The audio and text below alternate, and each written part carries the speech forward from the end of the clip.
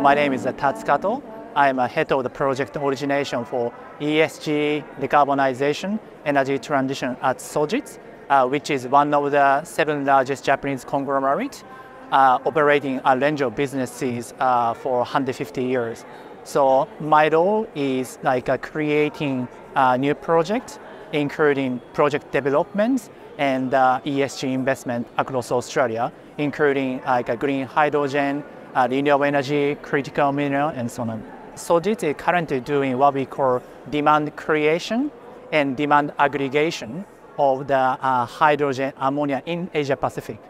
So uh, the facts, uh, fact is that in Australia there are many green hydrogen and ammonia export scale projects, but not many of them have uh, like long-term investment off-takers.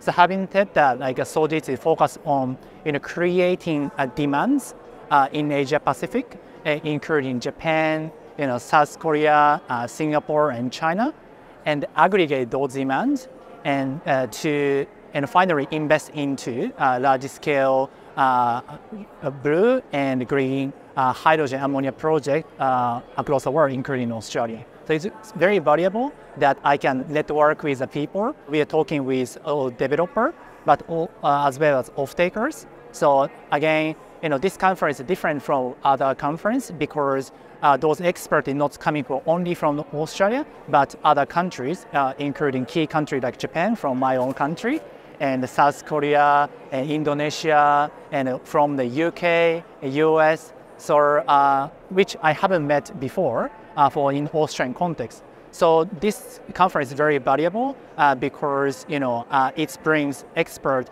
uh, from not only Australia but uh, other countries.